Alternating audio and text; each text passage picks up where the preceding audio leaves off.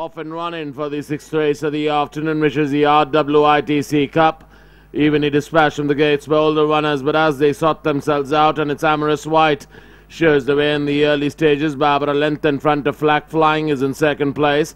A gap of two and a half lengths away, there's Exodus. Identical distance away, there's Tan being passed on the outside there by uh, One Man Army. Another length and a half, two lengths away, One Man Army. There's uh, Migrator, another length and a quarter away. Migrator, there's Rufus, not too far away. Sweet Music, a gap of two and a half lengths away. the Talisman, third last. Second last is Cadman, and a closed last is Copernicus. They pass the 800 now and approach the 600 meter marker with Amorous White in a start to finish mission. By about a length in front of Flag Flying is in second place. A length and a quarter away there's Tan on the outside is one man army traveling three horses wide.